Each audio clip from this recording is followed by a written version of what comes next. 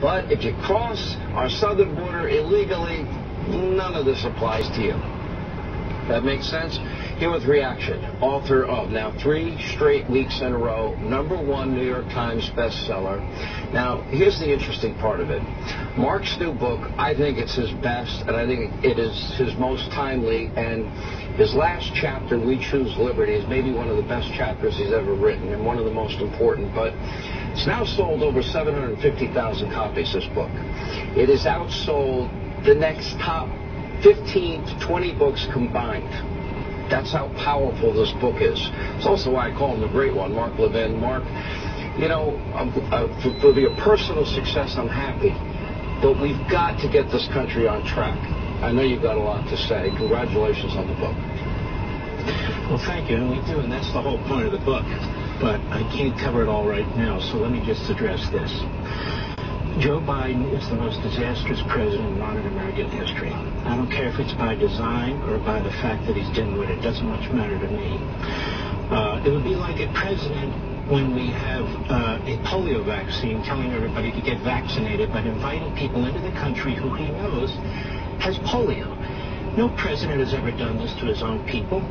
This guy is a coward. He buckles to the radical left in his party. He's a fool. The idea that people who are vaccinated are the ones who are going to be punished, it's like the gun owners who are law-abiding are the ones who are going to be punished. It's like the successful people in this country, they're the ones who intend to punish with the tax code.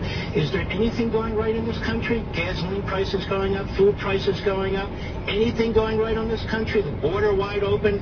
You're going to have people flooding into our school districts, flooding into our hospitals. Law enforcement is overwhelmed. Towns are overwhelmed. And let me tell you why he's doing it. Let's be blunt.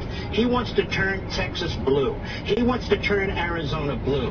This street politician from Wilmington, Delaware, the dumbest man to ever serve in the Senate, the dumbest man to ever be vice president, is now the dumbest man to ever be president. He's got a massive ego. He's a narcissist. He wants to go down in history as the greatest president. He's going to go down in history as the greatest disaster. He's doing more to weaken this country than the communist Chinese could ever pray to do. He could ever pray to do. He's justified a federal statute, a Supreme Court decision. He knows.